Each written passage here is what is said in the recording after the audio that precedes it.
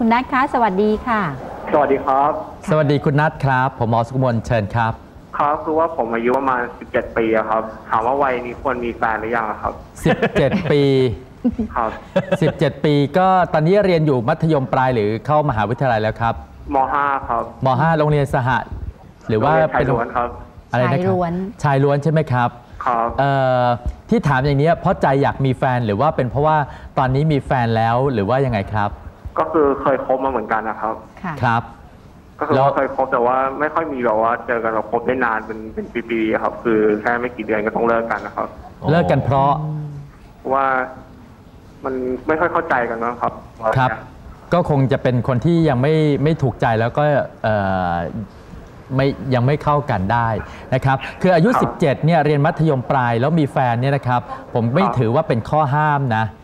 ครับแต่ก็ไม่ได้เป็นถือว่าเป็นเรื่องจำเป็น อ่า คือประเภทว่าฉันไม่มีแฟนแล้วฉันแบบเป็นคนที่ต่ำต้อยได้ค่าราคาตกก็ไม่ใช่ครับ อันนี้แล้วแต่โอกาส ตอนผมอายุ 17 ผมอยู่มัธยมปลาย ผมก็มุ่งมั่นเรื่องการสอบเข้ามหาวิทยาลัยฮะแล้วค่อยไปมีแฟนเมื่อเวลาที่เราเจอใครที่ถูกใจ หรือมิเมื่อมีโอกาสก็ได้ครับ อืม พวกคุณหมอคิดว่าควรมีหรือไม่ควรมีอะครับ มันไม่ใช่ว่าควรหรือไม่ควรครับเอ่อ มันเป็นเรื่องผมบอกนี้นะไม่ใช่เป็นเรื่องต้องห้ามแต่ก็ไม่ใช่เรื่องจำเป็น คือถ้าสถานสถานการณ์เนี่ยเราเจอคนที่ถูกใจแล้วเป็นกำลังใจให้แก่กันและกัน ช่วยเหลือกันอ๋อในเรื่องของการเรียนเวลาที่มีความทุกข์ความท้อเราก็ support ด้วยกันและกันเนี่ยผมก็คิดว่าเป็นหวานใจมีกำลังใจเรียนก็ดีอืมแต่ก็เป็นดาบสองคม เพราะว่าบางคนถ้ามีแฟนแล้วเวลาอ่านหนังสือคิดถึงแต่แฟนมาก ถ้าอยู่คนเดียวจะต้องโทรหากันทำให้เสียเวลาอ่านหนังสือเนี่ยอืมอันนั้นก็เป็นข้อเสียที่ต้องระวังครับเพราะแม่หลายคนเลยมักจะห้ามลูกๆไม่ให้ไม่ให้อยากมีแฟนในช่วงวัยเรียน เพราะก็กลัวว่าจะเสียการเรียนอ๋อครับขอบคุณถ้ามีแฟนครับก็อย่าบกพร่องในเรื่องการเรียนนะครับครับแล้วครับคำถามหนึงครับจะดูไงว่าผู้หญิงจริงใจไม่จริงใจอะครับเออบอกไม่ได้ครับ ต้องดูระยะยาวครับโอ้อ๋อนะครับเขาเองก็ขอบคุณมากตั้งคำถามนี้กับผู้ชายเหมือนกัน คุณต้องจริงใจกับเขาก่อน แล้วเขาถึงจะจริงใจกับคุณครับ อ๋อครับอือฮึไม่มีอะไรแล้วครับขอบคุณมากครับยินดีครับ สวัสดีครับ ครับ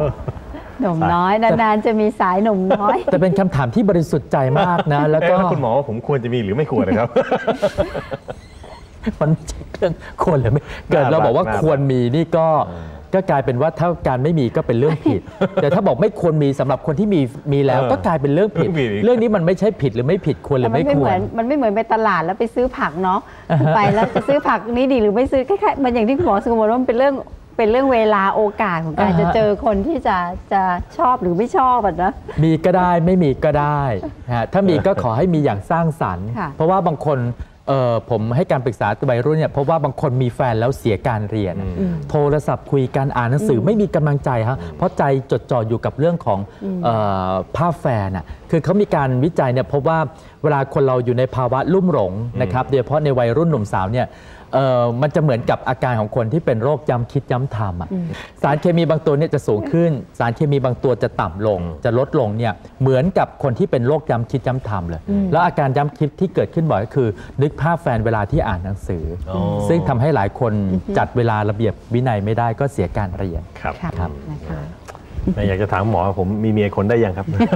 อันนี้บอกได้เลยครับว่าไม่ควรครับไม่ควรนะครับครับ